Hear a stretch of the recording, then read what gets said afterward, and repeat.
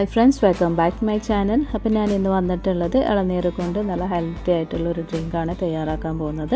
നമുക്ക് എളുപ്പത്തിൽ തയ്യാറാക്കാൻ പറ്റിയ നല്ല ടേസ്റ്റി ആയിട്ടുള്ള ഒരു ഡ്രിങ്കാണ് കേട്ടോ ഇത്. അപ്പോൾ അതെങ്ങനെ തയ്യാറാക്കുന്നു അതിന്റെ ഇൻഗ്രീഡിയൻസ് എന്തൊക്കെയാണെന്നുള്ളത് നോക്കാം.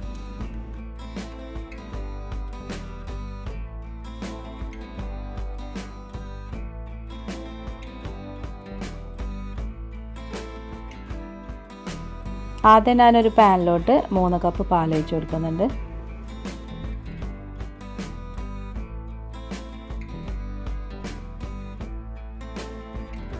ഇനി ഇതിലേക്ക് നാല് table spoon contents milk add ചെയ്യുക അപ്പോൾ ഇവിടെ ഞാൻ മൂന്ന് കപ്പിന് നാല് ടേബിൾ സ്പൂണാണ് കേട്ടോ എടുത്തിട്ടുള്ളത്.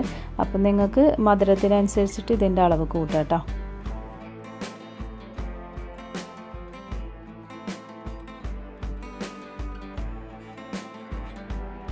ഇനി നമുക്കിത് നന്നായിട്ടൊന്ന് മിക്സ് ചെയ്ത് കൊടുക്കാം എന്നിട്ട് ഈ ഒരു പാൽ ചൂടാവുന്നവരെ മാത്രം വെയിറ്റ് ചെയ്യട്ടെ. നന്നായിട്ട് ബോയിൽ ചെയ്തിട്ട് കുറുകേണ്ട ആവശ്യമൊന്നുമില്ല. ഒന്ന് ചൂടായാൽ മാത്രം മതി.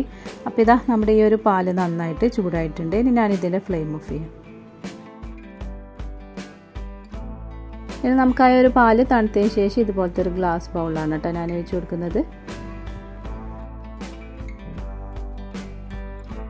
ഇനി ഞാൻ ഇതിലേക്ക് രണ്ട് കപ്പ് ഇളനീർ പൾപ്പാണ് ആഡ് ചെയ്ത് കൊടുക്കുന്നത്. അപ്പോൾ ഇത് ഞാൻ സൂപ്പർ മാർക്കറ്റിൽ നിന്ന് വാങ്ങിയതാണ് കേട്ടോ നിങ്ങൾ വീട്ടിൽ തയ്യാറാക്കുമ്പോൾ അതിൽ കുറച്ച് പഞ്ചസാരയും കൂടി ആഡ് ചെയ്തിട്ട് വേണം നന്നായിട്ട് മിക്സിയിൽ അരച്ചെടുക്കാൻ വേണ്ടിയിട്ട്. എന്നിട്ട് വേണം ഇതിലേക്ക് ആഡ് ചെയ്യാൻ കേട്ടോ ഇനി നമുക്കിത് നന്നായിട്ടൊന്ന് മിക്സ് ചെയ്ത് കൊടുക്കാം.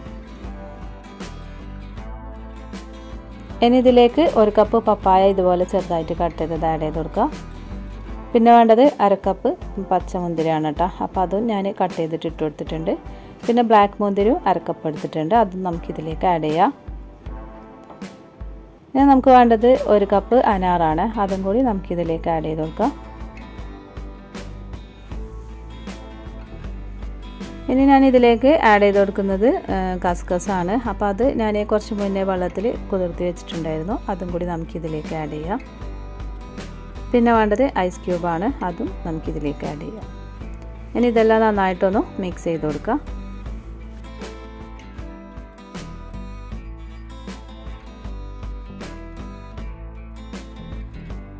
അപ്പോൾ ഇത് ഞാൻ ഒന്ന് ഫ്രിഡ്ജിൽ വെച്ചിട്ട് നന്നായിട്ട് തണുപ്പിച്ചെടുക്കുന്നുണ്ട് കേട്ടോ. അതിനുശേഷം നമുക്കിതൊരു സെർവിങ് ഗ്ലാസ്സിലേക്ക് മാറ്റാം. അപ്പോൾ ഇത് നമ്മുടെ ഈ ഒരു ഡ്രിങ്ക് നന്നായിട്ട് തണുത്ത് വന്നിട്ടുണ്ട് കേട്ടോ. ഇനി ഞാനിതൊരു സെർവിങ് ഗ്ലാസ്സിലേക്ക് മാറ്റാണ്.